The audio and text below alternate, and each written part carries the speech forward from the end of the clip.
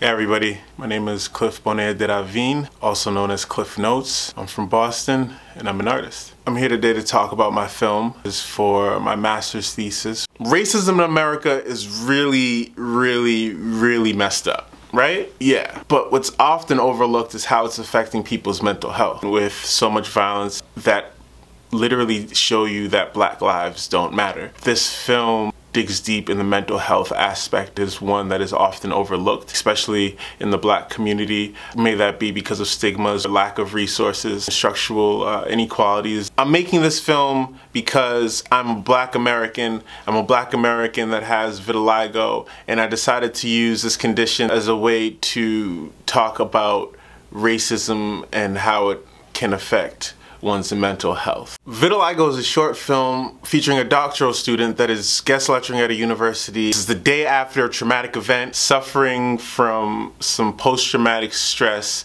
He's dealing with processing these emotions and trying to navigate this while navigating interpersonal relationships with people as well things are just going crazy. You'll understand when you see the film. That's if the film gets made. We need your help. Films are a little expensive. Good films are even more expensive. Helping out with this film would go towards paying for post-production fees, pre-production fees. We need money for nice lights like this, which is making me sweat. Am I sweating because I'm nervous? Uh, number one is sharing this message.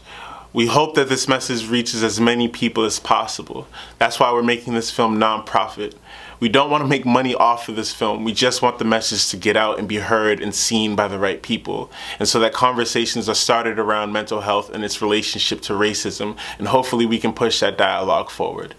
Number two is you can go to hipstory.org slash vitiligo. Email us with questions, resources, ideas. We want to hear from you. We want to know that you're invested in this film just as much as we are because this film is not just a movie. It is a message that hopefully will promote peace and hopefully will start dialogues that'll move ourselves as a country forward. I think we covered everything.